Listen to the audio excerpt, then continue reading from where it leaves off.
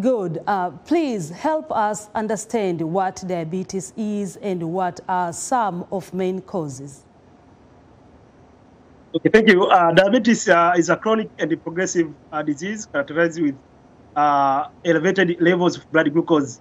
Uh, diabetes occurs either when pancreas does not produce enough insulin. This is the hormone which regulates blood glucose in the body.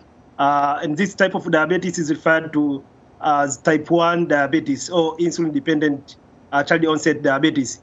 Or it, it may occur when the body cannot effectively use the insulin it, it produces. Uh, for example, this is referred as uh, type 2 diabetes, or it's also often called uh, non-insulin dependent uh, diabetes. We, we, also have another type of diabetes, which, which is called uh, gestation diabetes, uh, which is a temporary condition occurs in pregnancy and carries a long-term risk for type 2 diabetes.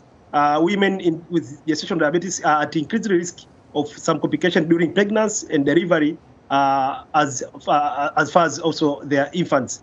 Uh, people with diabetes may uh, have symptoms like excessive urination, polyuria, uh, or excessive thirst, uh, which is also called polydipsia, um, constant hunger, polyphagia, weight loss, uh, vision changes, headache, and fatigue.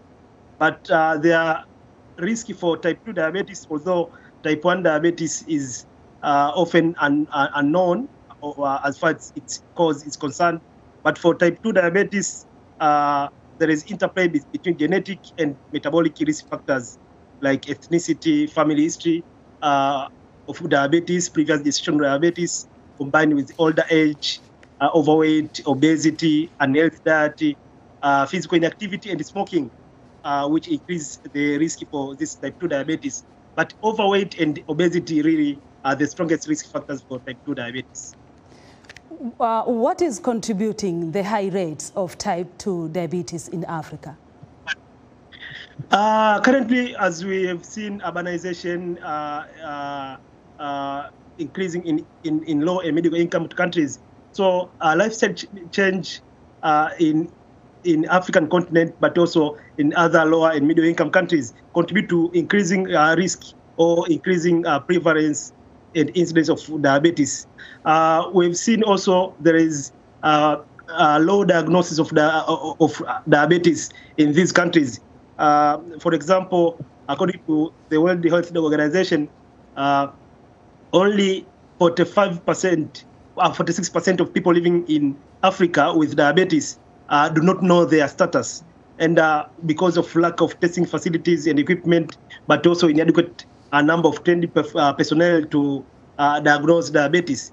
Uh, the really the problem is all the figure is uh, increasing and it's expected to rise up to uh, 55 million by 2055.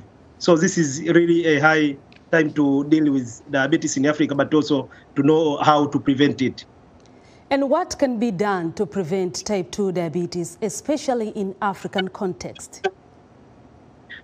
Uh, there are a lot of uh, interventions uh, based on how we can prevent it, but also how we can control it. But the World Health, Organization really has come out and provided uh, some of the interventions which are very uh, cost effective uh, in a common name called best buys which are recommended interventions for prevention and controlling of non-communicable diseases, but also including diabetes.